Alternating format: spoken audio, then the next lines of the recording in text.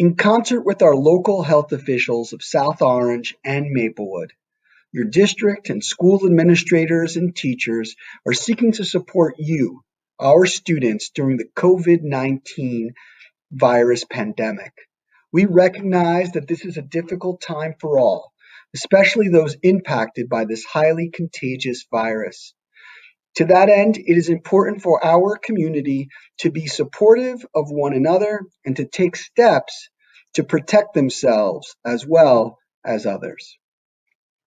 Now, I know when I was reading this poem the other day, it reminded me a little bit about my own children. They feel like this virus has stolen not only their school, but their social lives as well. And they don't really care for when I say things like, oh, it'll get better and you'll see this will be a blip in your uh, time here. And so let's just read this for a moment because I thought it was very powerful. O misery, imperfect universe of days stretched out ahead, the string of pearls and drops of venom on the web, losses of heart, of life and limb, news of the worst. Remind me again the day will come when I look back amazed at the waste of sorry salt when I had no more than this to cry about. But now I lay me down.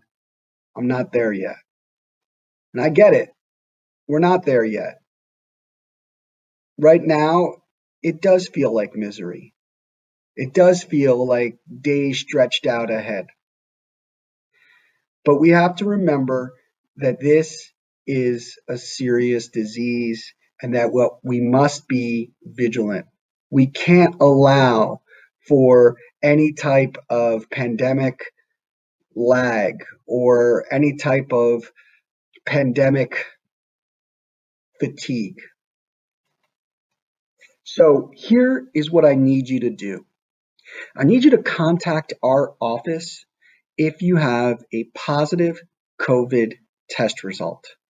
Now, we'll keep that information in confidence, of course, but we'll be able to support you, both our health offices and our counseling offices. We'll let your teachers know so they could provide flexibility and support. We also need that information as soon as possible so we can make decisions for our sporting schedule. Students, we need you to be safe. Remember, stay home when you're sick. Wash your hands often with soap for at least 20 seconds. Always practice social distancing. Wear a face covering. And I know it's hard. I know you want to be together. But again, meeting at parties, being together without a mask, those things are irresponsible.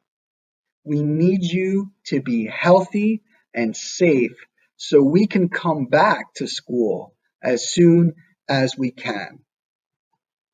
We also want everyone to remember more, now more than ever that we continue to support one another to protect the health and safety of our community.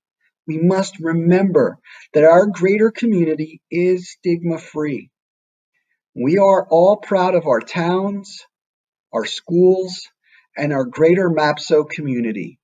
It is with that great sense of community that we should come together and meet the challenges of this virus and to support each other. So again, Let's do this. We got you guys. Make sure we're healthy and safe. From your faculty and our fellow administrators, thank you all.